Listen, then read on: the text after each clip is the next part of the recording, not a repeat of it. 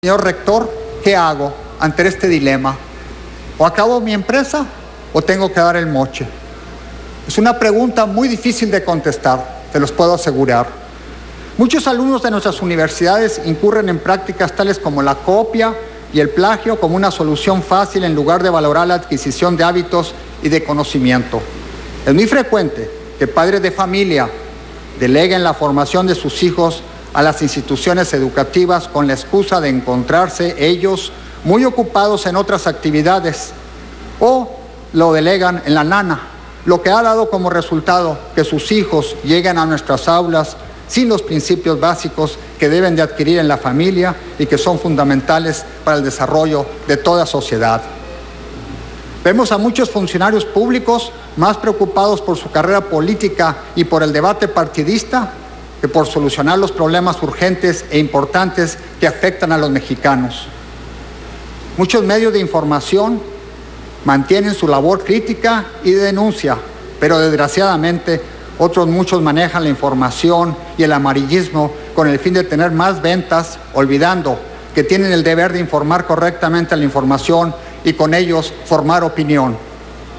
Las universidades, por nuestra parte, hemos enfocado demasiados esfuerzos en preparar nuestros alumnos exclusivamente para que tengan alguna alta empleabilidad con fines monetarios o el éxito profesional como algo muy importante y muchas veces ni eso lo hacemos bien. Pero lo más importante, pero lo más importante es que damos muy poca relevancia a nuestra misión de formar verdaderos ciudadanos que asuman su responsabilidad social y política para cambiar este país. Los profesores y directivos debemos de enseñar con el ejemplo a nuestros alumnos. Y eso es algo que se nos olvida frecuentemente. En otras palabras, la inseguridad que padecemos es el resultado de, lo que hemos de, que hemos degradado nuestros valores y principios y hemos aceptado esta degradación como algo natural. Si queremos una sociedad equitativa, solidaria, justa y con paz social, tenemos que cambiar esta forma de actuar en lo particular, en lo social, en lo empresarial, en lo político, en lo educativo y en lo gubernamental. Esta es la esencia de mi mensaje cada uno de nosotros debe salir a protestar y manifestarse como hoy lo hemos hecho. Y los invito a que sigamos haciéndolo. Pero cada vez que lo hagamos,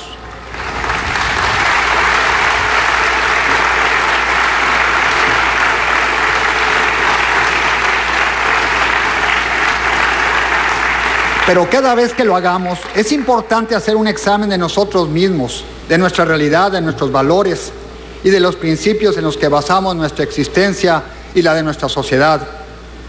Debemos de salir a manifestarnos con propuestas y soluciones, no solo con reclamos y exigencias. En la universidad, en la universidad debe de existir la crítica, pero también la propuesta. Debemos de hacernos responsables de nuestra vida diaria y de nuestro futuro.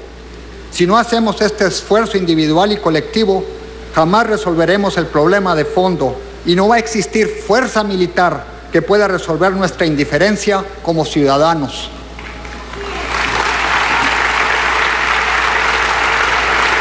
Los invito pues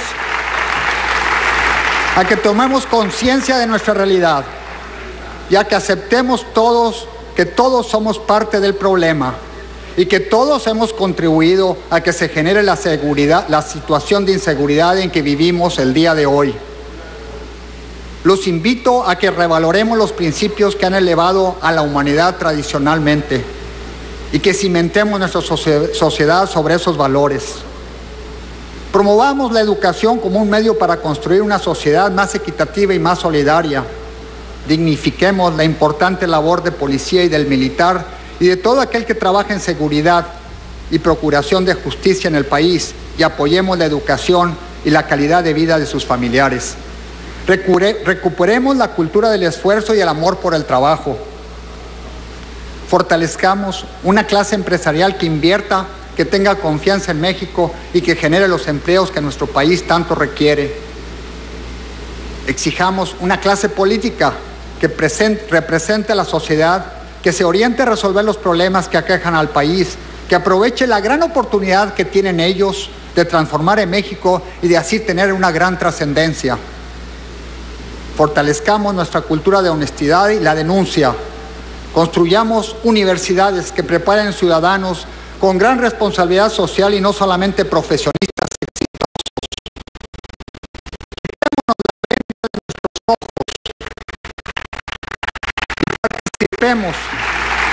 de una manera más solidaria y más activa para garantizar la justicia, para reducir la brecha entre los que más tienen y los que menos tienen y para educar a las comunidades menos favorecidas. Pensemos en los demás y fortalezcamos nuestro amor por nuestra patria. Jóvenes estudiantes, yo los invito a regresar a sus campus con la misión de analizar, y hacer realidad todas las propuestas que ustedes han hecho para que este acto tenga un significado realmente de trascendencia. Nos vemos de nuevo el 30 de abril. Estoy seguro de que cada uno de ustedes, de que cada uno de los grupos hará siempre y hará propuestas y las hará realidad para que su comunidad, ustedes y sobre todo México sean mejores. Estoy orgulloso de todos ustedes estudiantes, pero tengo una gran expectativa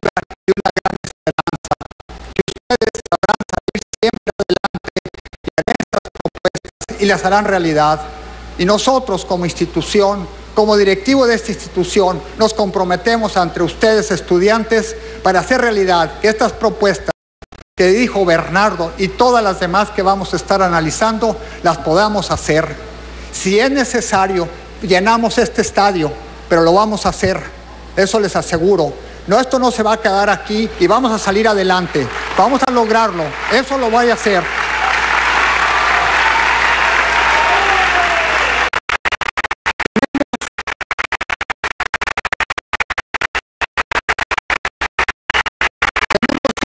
Problema el día de hoy. Tenemos un gran problema el día de hoy. No dejemos la responsabilidad exclusivamente en manos de las autoridades gubernamentales. Nosotros como sociedad, junto con ellos, debemos tomar acciones si queremos un país en el cual nuestras familias hagan sus vidas con tranquilidad y libertad. Un país cuyos habitantes nos desarrollemos en paz. Un país del cual todos nos sintamos orgullosos. Hoy es el inicio de una gran cruzada por la seguridad y todos somos parte de ella. Que tengan